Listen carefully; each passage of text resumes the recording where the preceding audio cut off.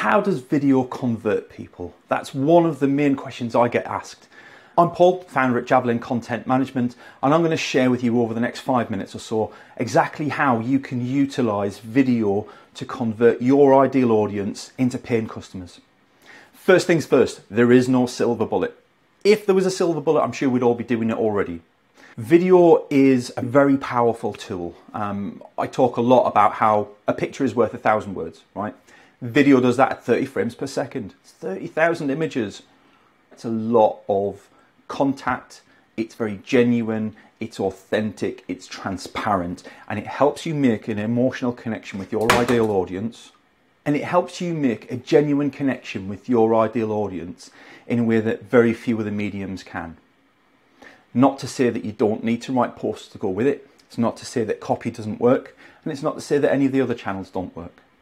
But video connects people on an emotional scale, and we buy emotionally, and we justify that purchase logically and rationally later.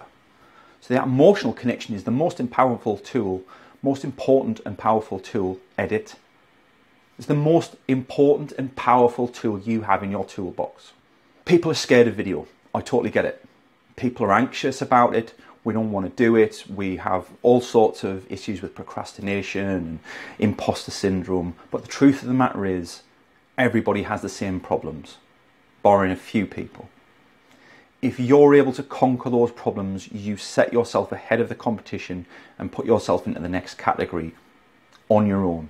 There is no competition there. You've beaten the competition to your ideal audience lean into what makes your competition uncomfortable, and that is what will set you apart. Eat the damn frog, break down the big rocks, and get video done. You don't need to be posting five times a week like I do, seven times a week sometimes. You just need to get started. Once a week isn't enough. Quite honestly, it's not enough to build up a, a habit and a routine of doing it, and eventually you'll stop doing it because it's easier not to. So I recommend three times a week. Also, people ask me, what sort of results can we see from video? And for me, that's the most powerful question. So, in, I reckon, for most people, nine months onwards, right? You're not going to see really qualified results for nine months because you need to get enough information out there that your audience understand who you are, what you do, and what you don't do. But after nine months, you should start to see people come to your door who are much more highly qualified, who previously would be unattainable. You wouldn't be able to reach them because you're not messaging them, you're not being direct to them, you're letting them come to you when the time is right. They've identified that you solve the problems that they have and they're reaching out to you, which means that your pipeline is condensed, it's much shorter.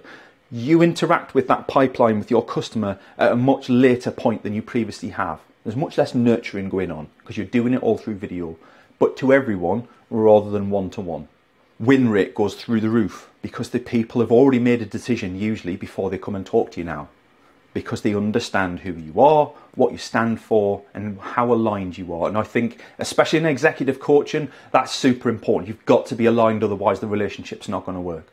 So, sharing you, sharing your personality, sharing your experience, and how you solve challenges is paramount to connecting with your audience. And the last thing is you'll get less bad fit customers. So less people who are the wrong sort of personality, who don't align with your style of coaching, who don't tick your boxes and you don't tick their boxes. You'll get a lot less of those people, meaning you spend less time on wasted conversations and more time talking to the right people. And as a result, hopefully, you'll create some champions out there who might not be a good fit for you, but having seen your content would highly recommend you to the people they know are a good fit if you share with them how they can spot those people. Hopefully that helps you understand a little bit better about the power of video and what the results are for you as an executive coach.